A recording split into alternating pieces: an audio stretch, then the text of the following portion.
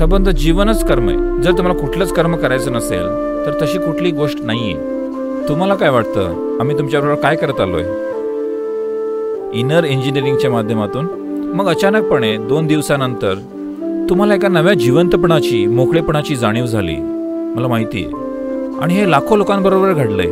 हे फक्त ते दोन दिवस तुम्ही नवीन कर्म निर्माण केलं नाही म्हणून. अचानकपणे हलकं आणि मस्त वाटू लागतं.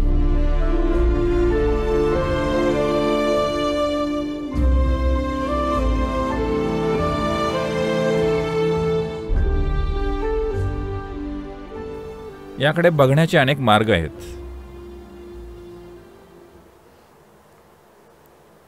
मी कृती कशी करावी? कर्म म्हणजे हे जरा समजून घेऊया.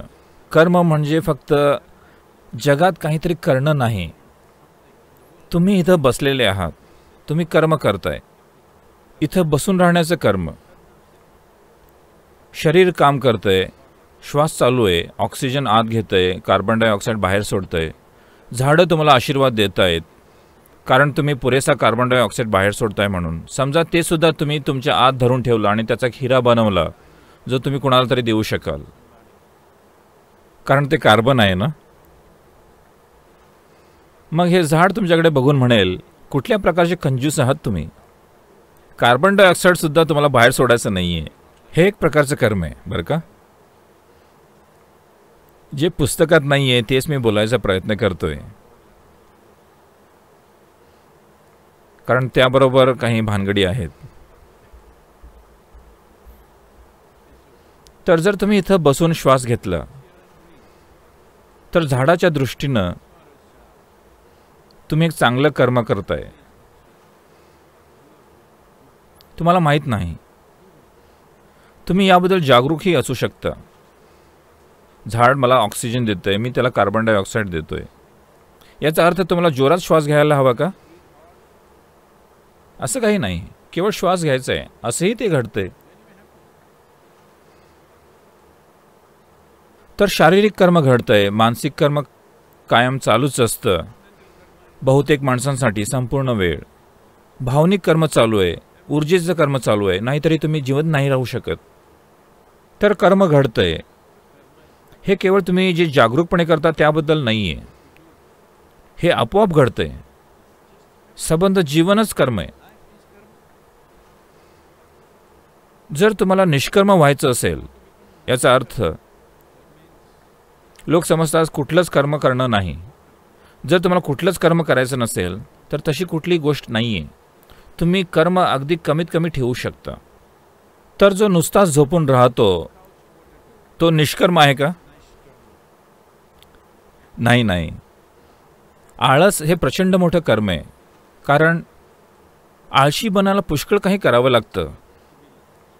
अशा अर्थानं की तुम्हाला पुष्कळ स्पष्टीकरण तयार करावं लागणार आणि स्वतःला पटवून द्यावं लागणार की तुम्हाला कशाबद्दल काही करायची गरज नाही. आता सध्या जगात व्हायरस आहे.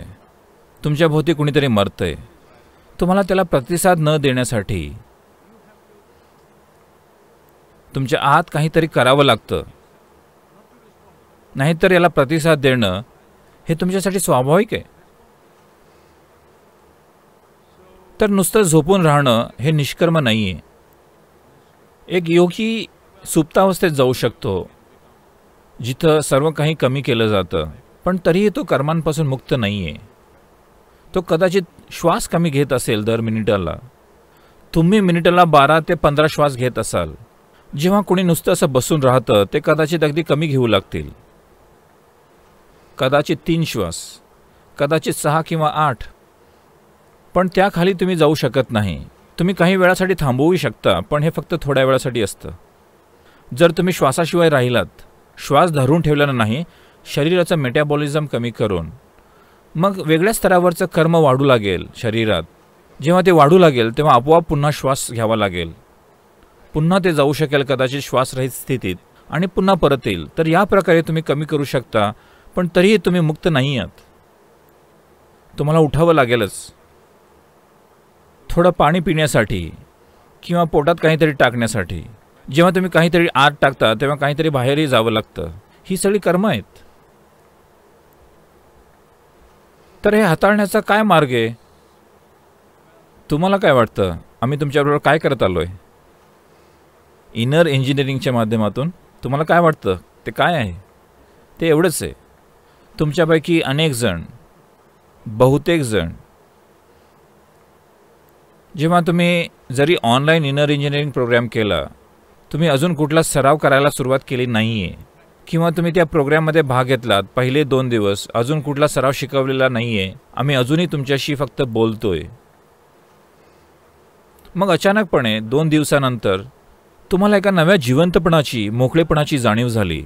मला माहिती आहे आणि हे लाखो लोकांबरोबर घडलं आहे अचानकपणे तुम्ही प्रज्वलित होता. हे काही तुमची जुनी कर्म नष्ट झाली म्हणून नव्हे. हे फक्त ते दोन दिवस तुम्ही नवीन कर्म निर्माण केलं नाही म्हणून. अचानकपणे हलकं आणि मस्त वाटू लागतं. कारण तुम्ही अनावश्यक कर्माचा बोजा निर्माण करायचं थांबवलं म्हणून. तर काय होती ती युक्ती? याचे अनेक पैलू आहेत पण आपण त्यात जाऊ शकत नाही. अगदी सोपी गोष्ट ही आहे तुमची प्रतिसाद देण्याची क्षमता. हे पहा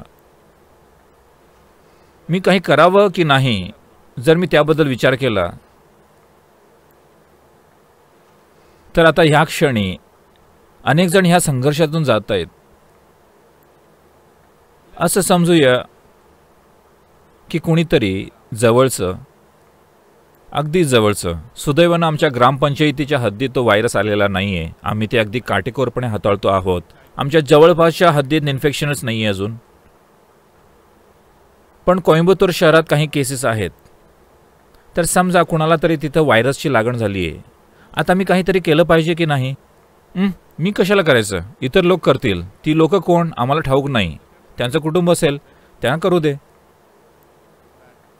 पण त्या माणसाच्या वेदना जर आम्ही तुमच्यासमोर ठेवल्या तर तुम्हाला स्वतःच्या आत पुष्कळ काही करावं लागेल त्याच्यासाठी काही न करायला. पण त्याला प्रतिसाद देण्यासाठी ज्या काही मार्गांना शक्य असेल त्या प्रत्येकजण सर्वांचं जीवन वाचवू शकत नाही. पण तुमच्याकडून जे काही शक्य आहे ते करणं हे अगदी सोपं आहे. त्यासाठी मानसिक कर्माचा बोजा तुम्ही जो निर्माण करता तो प्रचंड प्रमाणात कमी होईल तुमच्या मनात. एवढ्याच कारणासाठी की तुमचा प्रतिसाद आता निवडक राहिलेला नाही आहे निवड रहित तुमच्या प्रतिसाद देण्याच्या क्षमतेत. कृतीत नाही. कारण कृतीमध्ये निवड न करणं तुम्हाला परवडू शकत नाही. कृतीत तुम्ही नेहमीच निवड करत असता. कारण कारण कृतीसाठी लागते शारीरिक क्षमता शक्ती बुद्धिमत्ता संसाधनं योग्य वेळ अशा अनेक गोष्टी लागतात. आणि ह्या सगळ्या वस्तू मर्यादित असतात. कोणीही अमर्याद कृती करू शकत नाही. जर त्याने अमर्याद कृती केली तर ते लवकरच मरण पावतील. आणि ते सुद्धा वाईट कर्म. आहे हो आहे ते वाईट. कृती ही काही अमर्याद स्वरूपाची नाही आहे पण आपला प्रतिसाद मात्र अमर्याद आहे. जिथं कुठं असेल मला काहीतरी करायला आवडेल. जर शक्य असेल तर जे जे काही शक्य असेल ते आपण करू. आणि जे शक्य नाही किमान आपल्याजवळ तशी इच्छा तरी आहे. थोडीशी इच्छा. केवळ यामुळेच तुम्ही कार्यक्रमाला आलात आणि तुम्ही इतकी प्रचंड मोकळीक अनुभवली. लोक मला विचारतात सद्गुरू ऑनलाईन प्रोग्राम कसा काय काम करेल? कुठल्याही योग सरावाविना? तुम्ही हे समजलं पाहिजे. शांभवीच्या दीक्षेसाठी येण्यापूर्वी तुम्हाला आधीच फार छान वाटायला सुरुवात झाली होती. केवळ यामुळे की तुम्ही नवीन कर्माचा बोजा तयार करायचं थांबवलं. जुनं कर्म अजून गेलेलं नाही ह्या चार दिवसात. फक्त एवढंच आहे की नव्या कर्माची भर पडत नाही आहे जुन्या कर्मांसाठी फक्त जगणं पुरेसं आहे. इथं बसणं श्वास घेणं जगणं हृदयाचे ठोके चालू असणे ह्या गोष्टी पुरेशा आहेत जुनं कर्म नष्ट करण्यासाठी. थोड्याफार गोष्टींना थोडासा जोर द्यावा लागू शकतो बहुतेक गोष्टी सहज गळून पडतील. जर तुम्ही नुसते बसून राहिलात श्वास घेत जिवंत राहिलात हृदय आपोआप ठोके देत असतं. तुम्हाला त्यात काही करण्याची गरज नाही. की तुम्ही असं करत आहात का? काही जणांना वाटतं की तेच सगळं काही करतायत.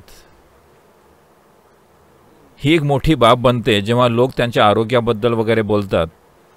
कारण आजकाल प्रत्येकजण इंटरनेट डॉक्टर झाला आहे त्यांनी पुष्कळ काही रिसर्च केलं आहे डॉक्टरांना डोकेदुखी होतीये कारण त्यांच्याकडे येणाऱ्या प्रत्येक पेशंटला त्या आजाराबद्दल अधिक माहिती असते डॉक्टरांपेक्षाही. डॉक्टरांना अधिक सखोल असं काहीतरी माहीत असतं कारण त्यांनी नऊ दहा वर्षे काम केलेलं असतं त्या क्षेत्रात. लोकांना आजारमुक्त करण्याचा अनुभव असतो.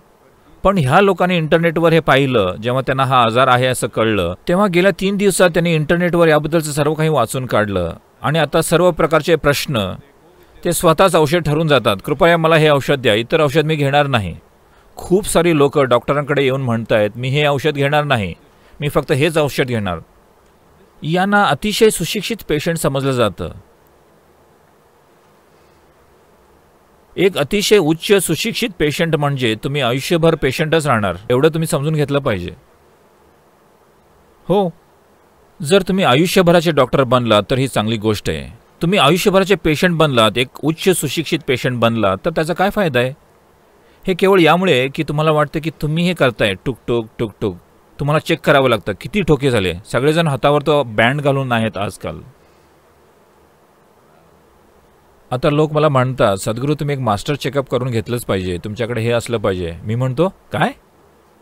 दरवर्षी मी जातो. मी हिमालयात ट्रेकिंग करतो तिबेटमध्ये असतो कैलासला जातो. हीच माझी स्ट्रेस टेस्ट आहे. जर मला ते पूर्ण करता आलं नाही तर तुम्ही मला हिमालयातच दफन करा. बस. नाहीतर तुम्ही जिवंत राहता. कारण तुम्ही स्वतःकडे थोडं लक्ष दिलं तर काय घडते हे तुम्हाला कळेल. जर तुम्हाला काही गडबड जाणवली तर डॉक्टरांकडे जा आणि त्याबद्दल जरा जाणकार माणसांकडून सल्ला घ्या. ती वेगळी गोष्ट.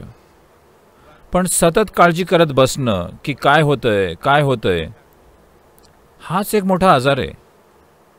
आरोग्याबद्दलची अवास्तव चिंता म्हणजे आजारपणच आणि ते एक भयानक कर्म आहे. या कर्माचा तुमच्यावर कायमच परिणाम होईल.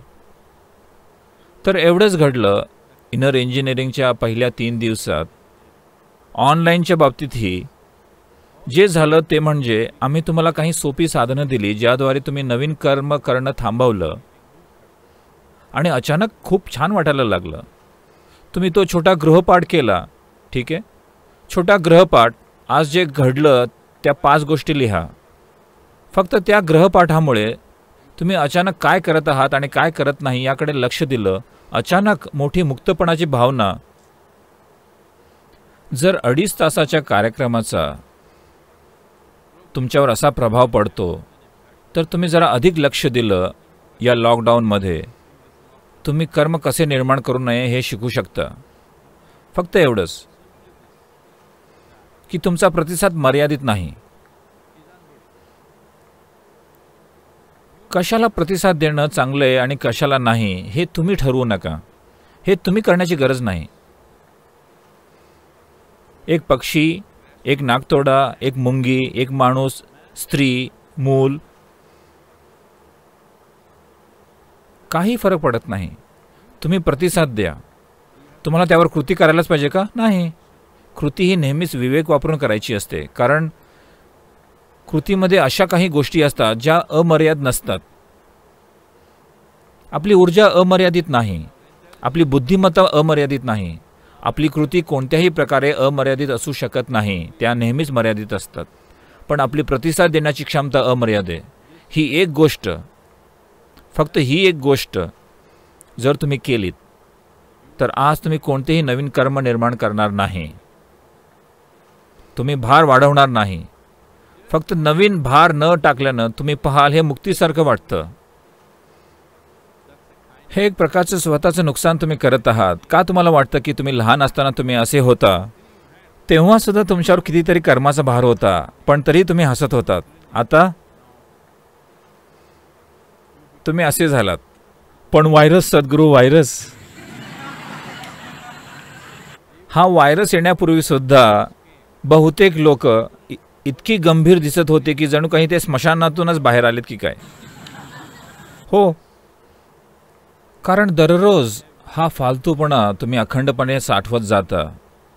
दररोज जे काही घडतं ते तुम्ही वाढवता वाढवता वाढवता. काहीतरी घडलं काहीतरी नाही घडलं. प्रत्येक गोष्टीसाठी तुम्ही तुमच्या आत गोंधळ निर्माण करता आणि त्या गोंधळाचं ओझं फक्त कचरा असतो तो. तुम्ही कचऱ्याच्या ट्रकसारखे आहात मी म्हणतोय. हो पण आता लॉकडाऊन आहे. तुम्हाला कोणताही कचरा उचलण्याची गरज नाही. लॉकडाऊनबाबत ती चांगली गोष्ट आहे. तुम्ही फक्त तुम्ही निवडक होऊ नका. तुम्ही कोण? तुम्ही कोण आहात हे ठरवणारं की कशाकडे लक्ष देण्याची गरज आहे आणि कशाकडे नाही? ज्या कशानं हे सर्व काही निर्माण केलं ज्यानं हे सर्व निर्माण केलं तुम्हाला दिसतंय का एक गवताचं पातं इतकं काळजीपूर्वकपणे तयार केलं गेलं आहे जितकं की हे मोठं झाड किंवा तुम्ही स्वतः किंवा एक हत्ती किंवा एक वाघ? एक लहान प्राणी तिकडचा एक छोटासा किडा तो तुमच्यापेक्षा किती सुशोभित आहे? हॅलो? तुम्हाला सर्व प्रकारचे रंग लावावे लागतात. पण ते सर्व स्वतःच किती रंगीबेरंगी आहेत. तर ज्यानं निर्माण केलं आहे सृष्टीनं तुमच्यापेक्षा या चिमुकल्यांकडे कमी लक्ष दिले का? नाही. तर मग कशाला प्रतिसाद द्यायचा आणि कशाला नाही हे ठरवणारे तुम्ही कोण? प्रतिसाद देण्याची तुमची क्षमता नेहमीच अमर्याद असायला हवी. मी जे सांगतोय ते जर तुम्हाला कळत नसेल. पण आता मी येऊन तुम्हाला शिकू शकत नाही. तर इनर इंजिनिअरिंग ऑनलाईन आहे. फक्त त्याचे पहिले तीन दिवस करा.